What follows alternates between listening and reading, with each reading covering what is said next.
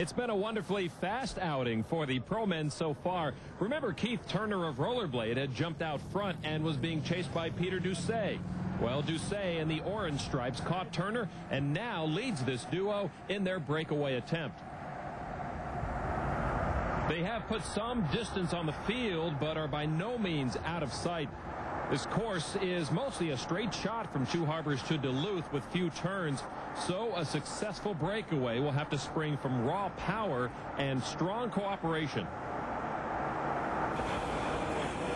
Right now, back in the chase pack, there is very little cooperation among the skaters to try and close that gap. Now going off the front of the chase pack, trying to bridge to the front, is Scott Baldwin. Baldwin's 29 years old, now living in San Francisco, trying to gain access to the leaders. Scotty finished fourth in the National Point Circuit standings in 1998. He is teammates to Eddie Matzger on Twin Cam. He was runner-up to Casey Boutiette in this event last year, finishing just two seconds behind the Olympic speed skater.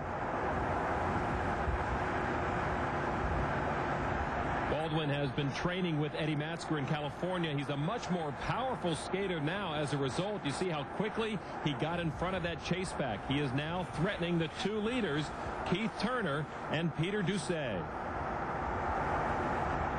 So the short-lived breakaway attempt by Turner and Doucet about to be joined by Scotty Baldwin, who was bridged from the chase back.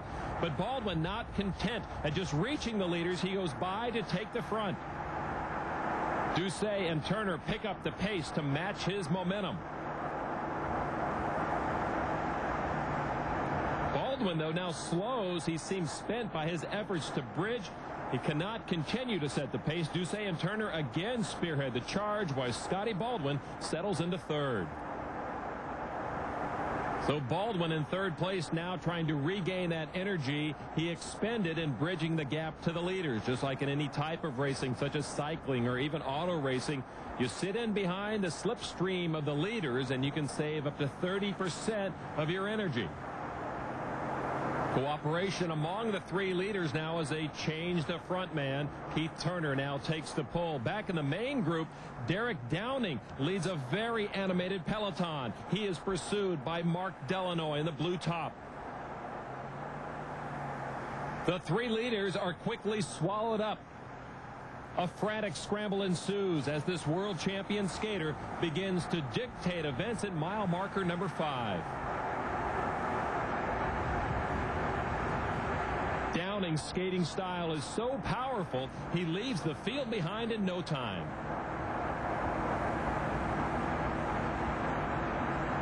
In the background, you can see his closest challenger is none other than Eddie Matzger, a master of point-to-point -point road racing. Four times Matzger has won the Athens to Atlanta 86-mile skate.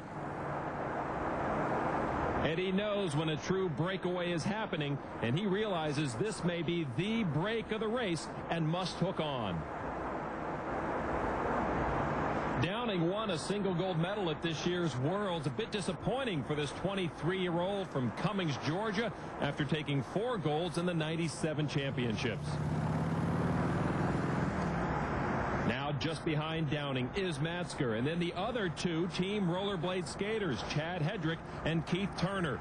The cream of the crop has come to the head of the class.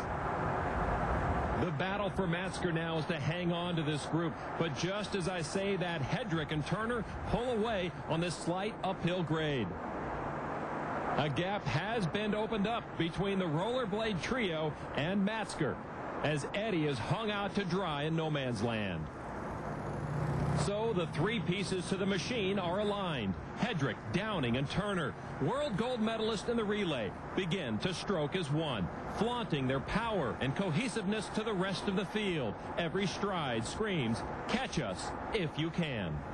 The North Shore Inline Marathon continues in a moment.